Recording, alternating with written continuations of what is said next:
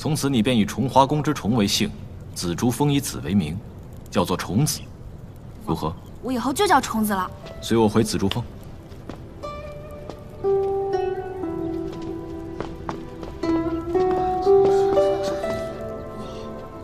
嗯，既然是凡间至尊，天命所归，不能不给面子。既然这样，你想拜入谁的座下呀？但凭天机尊者吩咐。都教意下如何？我正好缺了一位女弟子，我就收下你吧。妙缘拜见师傅。起来吧。谢师傅。师傅，父皇要是知道我拜在都教门下，定会宴请八方庆贺呢。司马妙缘，我南华派历代镇守通天门，南华的弟子。无不以保佑众生、诛除魔族为己任，这一点你务必要记住。他日若敢违反门规，必定严惩不贷。弟子谨记。你们虽资质各异，但只要记住四个字：勤能补拙。只要日后勤加刻苦修行，一定不会比别人差的。你们且去殿外等候吧。其他南华的大弟子们也一样要收徒，你们可以拜入他们的门下。谨遵天机尊者吩咐。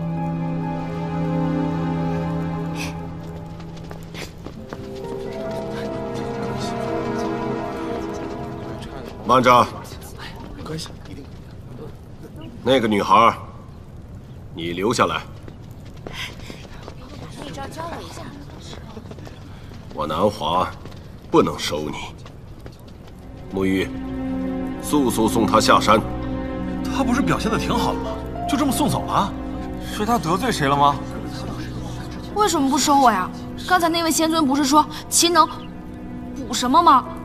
虽然我不认识什么厉害的人，但我是靠自己本事上来的，我还帮了别人，为什么不收我呀？你若修得道法，日后久必成害。什么？什么害人？我从来没有想过害人，怎么可能害人呢？休得多言！我南华不能留你，速速离开！为什么呀？我又没有做错什么。你们不是说上山就可以拜师吗？你们这样不公平！我明明做的比他们都好，你们不收我还要骂我！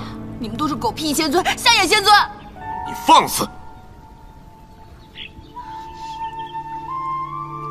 这世上根本就没有神仙，就算有神仙，也是聋了瞎了、没血没肉的神仙。原来是他，怪不得这么熟悉。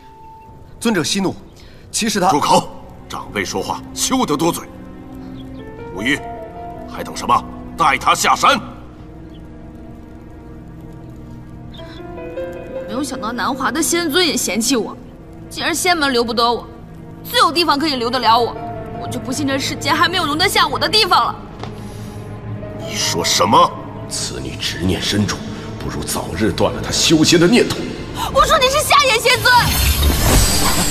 都教。我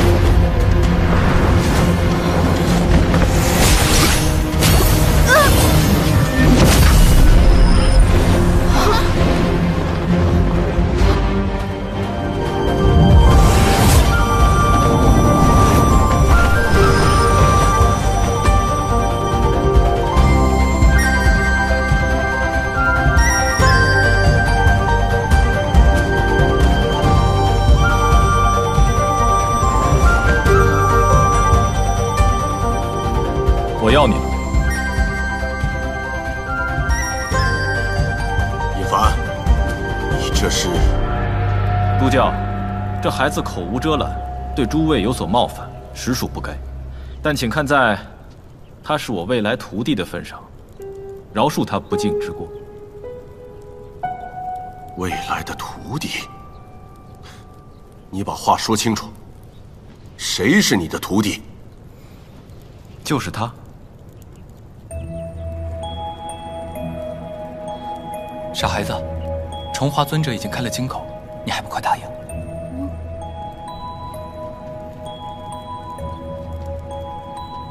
做我徒弟，你可愿意？恩人哥哥，叫师傅。师傅，尹凡，这孩子勇敢直爽，心有巧思，我很喜欢。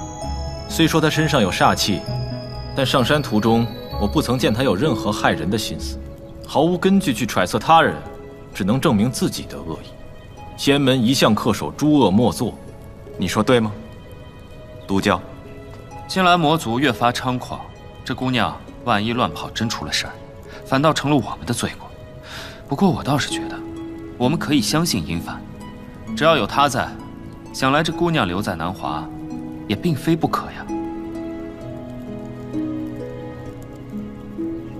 好，那就让他拜入我的门下，由我亲自教导。崇华尊者都已经开口收我为徒了。岂有改口的道理？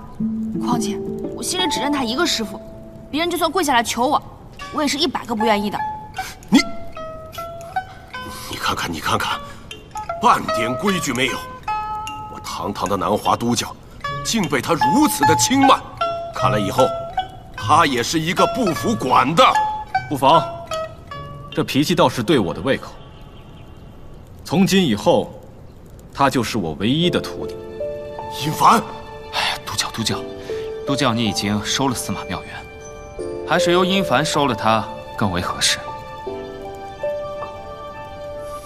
那就由天机尊者安排吧。还不快行拜师礼？叫什么名字？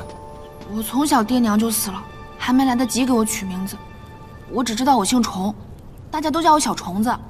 小虫子，虫子，风栖红芍药与虫子徘徊，倒是个雅致的名字。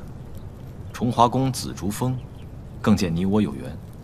从此你便以重华宫之虫为姓，紫竹峰以子为名，叫做虫子，如何？虫子，虫子，听着好像都差不多，但是师傅改完了之后，好像立马就不一样了。师傅真厉害，多谢师傅。我以后就叫虫子了。我姓骆，名殷凡，号重华。你既拜在我门下，需恪守门规，以天下苍生为念，不得做出违逆之事。虫子一定听师傅的话。若是做了惹师傅不高兴的事儿，师傅尽管打虫子吧。起来吧，随我回紫竹峰。